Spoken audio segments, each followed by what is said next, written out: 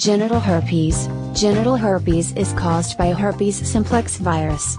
Type 1 is classified by causing cold sores and fever blisters in the mouth, and type 2 is known as genital herpes.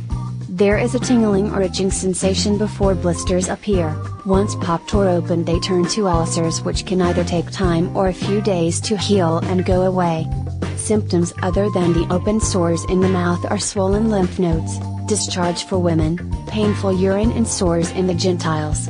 Herpes simplex virus is also known to increase the risk of HIV. Allergic vaginitis, because the symptoms of this are both inside the vagina and around the vulva, it is often mistaken for something else, usually a yeast infection or even herpes. It is caused by an allergic reaction to something, such as latex, lubes, nonoxynol 9, a spermicide, sex toys or toiletries. Symptoms include red, irritated skin, vaginal itching and increased discharge. The best way to deal with it is to find out what's causing the problem and find an alternative. Bacterial vaginosis, BV. This happens when the bacteria which naturally occur in the vagina, usually beneficial, get out of balance. Symptoms are a yellow-gray discharge, sometimes accompanied by a fishy smell, and vaginal irritation. It's treated with antibiotics and oral medication.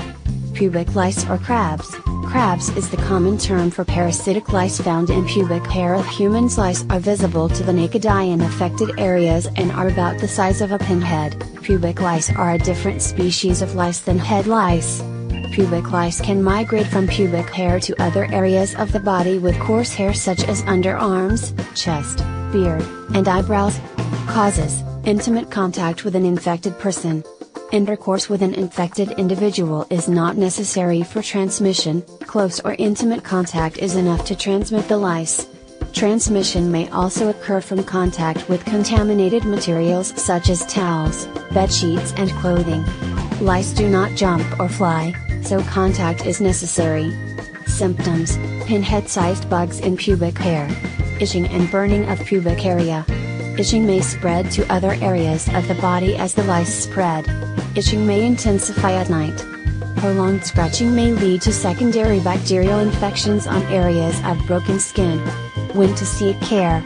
Pubic lice usually can be cured with over-the-counter medications such as Elimite although prescription medication is available.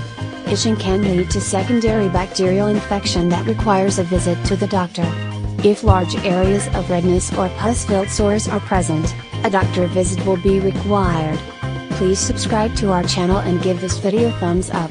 Share this video with your friends on Facebook and Twitter. Thanks for watching.